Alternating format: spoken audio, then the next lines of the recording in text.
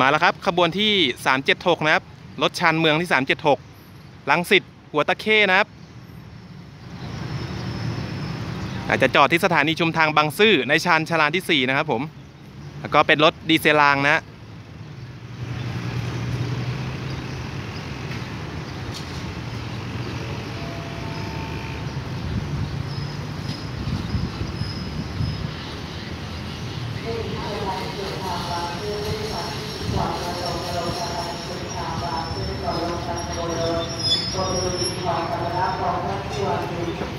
ครับก็มาดูบรรยากาศยามเช้าๆนะครับยามเช้าๆฟ้ากำลัง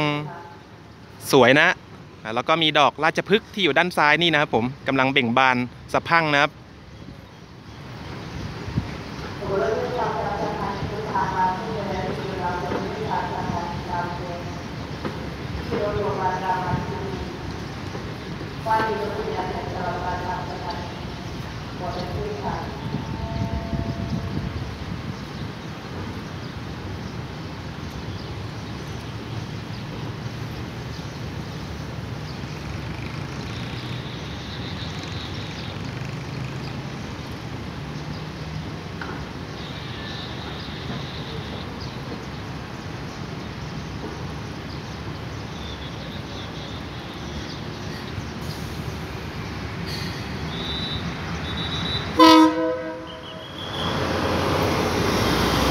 ออกแล้วนะครับขบวน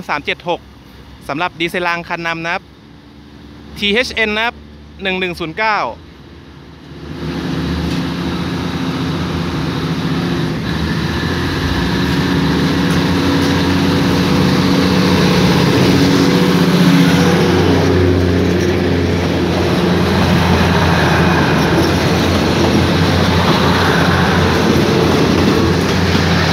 โอ้โห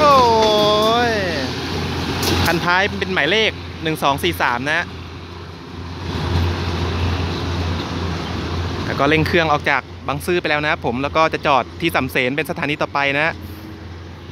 ขบวน 376 ลังสิตหัวตะเข้นะครับ